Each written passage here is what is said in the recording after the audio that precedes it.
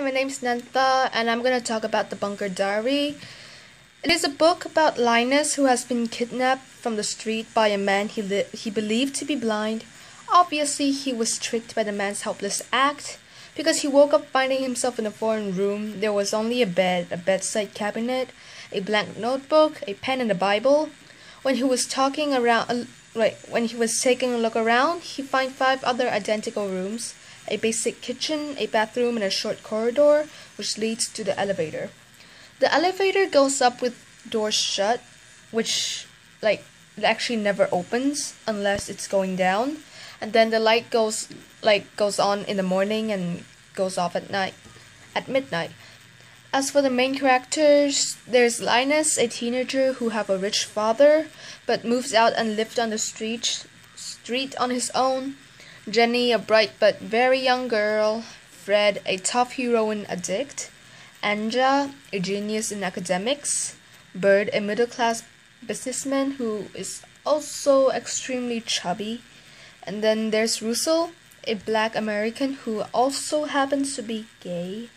The blind man doesn't really count as a main character since the story is about the six people living in his bunker. Just like the title itself, this book is like a diary written by Linus with the notebooks and pen he found in the, his bedroom. It's like he writes di- directly to the reader. As he writes, his situation becomes increasingly hopeless and his tone changes. When they first introduce him, he was living on the street, but it soon becomes clear that he has run from a life of privilege, past grief, and an erratic father who seems completely lost the ability to communicate to uh, communicate or connect with his son. However, despite his status as a teen who ran away from home, there's no drama about him. He's steady, solid, and for the most part, he thinks things through really carefully. His interactions with the adults in the group shows a really a real maturity. The plot itself is actually pretty simple.